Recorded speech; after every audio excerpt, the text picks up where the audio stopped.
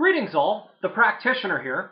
Um, I'd like to post a couple of updates regarding the uh, video I did a while back uh, called Apparently I'm an, Autist an Autistic Savant, Let Me Know How You Do. Um, if you remember uh, from that particular video, I posted a link to a test that was based on research by one Dr. Alan Snyder from the Centre of the Mind at the University of Sydney in Sydney, Australia. Um, in this particular test, uh, a series of dots were flashed on the screen, and you had to see, um, uh, and you had to guess how many there were. Now, in this particular link I showed you, there was a there were upper boundaries of between 50 and 150 dots. Um, now, I wanted to give you an update on some of the uh, on the results and an analysis of the uh, of the work that I did with it, and um, possible biases and corrections uh, of those biases, which I thought you guys might be interested in trying. Um, call this a replication attempt with a YouTube populace. So, um, I did a, uh, I did a full uh, because I had not I did not know what the actual um, correct sample size was for conducting a test of this to measure savant capability or savant otherwise. Um, what I uh, what I what I did was I did a, a series of ten runs. Uh, so basically that would be the five trial blocks, right? So I did 50 trials and I got 13 correct. I submitted these results to Dr. Alan Snyder via email, who, sent, uh, who, who submitted back that my capability of getting 13 out of 50 was on par with the average of 5 out of 20 that he was getting with his subjects who had been zapped with the, um, the tran um, uh, transcranial magnetic stimulation, i.e. displaying a savant-like capability.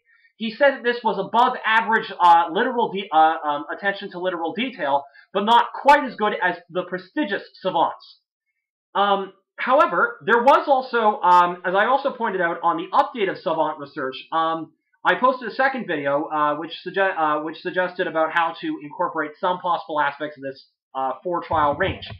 Um, I did also note that there might be a slim possibility that because there are boundaries placed on the rep on this this online version, i.e. a minimum of 50 dots and a maximum of 150 dots, that um, people could determine the number of dots based on spatial relationships, i.e. the size of a dot compare of a blue dot compared to the size of the white space surrounding it, and thus make a reasonable extrapolation. I have conducted an experiment since this time, uh, which has involved uh, dropping the zoom feature on uh, on the Internet Explorer window or your web browser window down to the smallest zoom setting possible. So if your normal zoom setting is at 100%, I would have got, um, I went down to 25%, which is the uh, lowest possible zoom, uh, or the smallest possible zoom that one could get, in the hopes of reducing this um, size bias.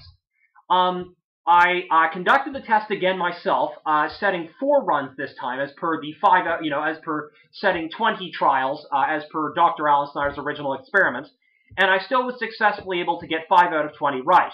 I then proceeded to use this at the 25% zoom setting with approximately six of, uh, randomly selected people um, at my university at Dalhousie uh, in the Student Union building.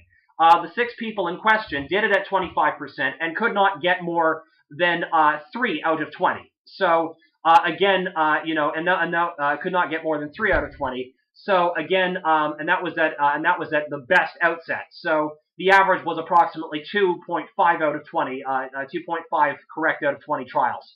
So here's what I would like uh, all viewers to do. I would go back to my original video. Apparently I'm an autistic savant. Let me know how you do. Click the link in the summary. Decrease the zoom on your uh, Internet Explorer or on your web browser window to the uh, to the farthest out zoom possible, so 25% or whatever the equivalent is, and attempt to conduct the experiment again.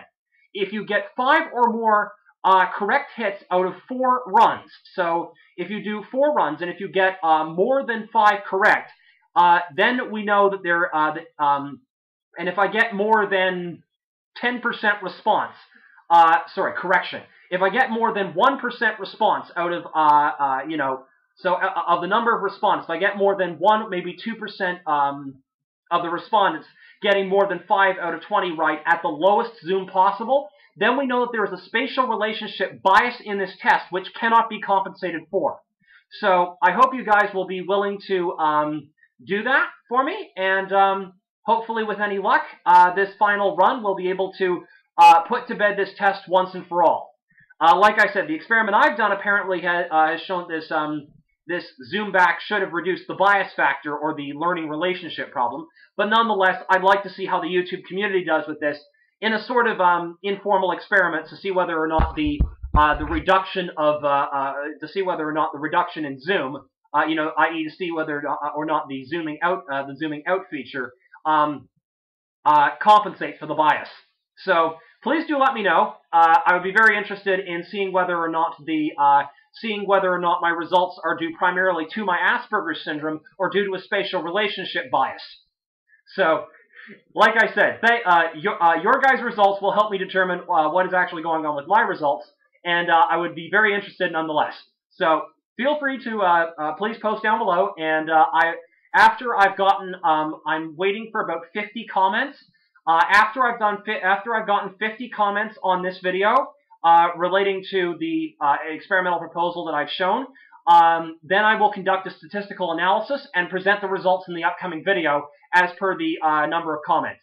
Um, of course, the reason I'm waiting for 50 comments is I'm waiting for, um, I'm assuming 50 comments will be a sufficient, uh, a sufficiently large sample size to compensate for, you know, non-randomization bias factors. At least that's the hope. So, um, give me a shout. Let me know how it goes. As soon as I've gotten 50 comments or more um, on the on this new video, then hopefully um, uh, then hopefully uh, we will uh, um, then hopefully uh, uh, then hopefully we will uh, you know have some better ideas to what's actually going on. Catch you later.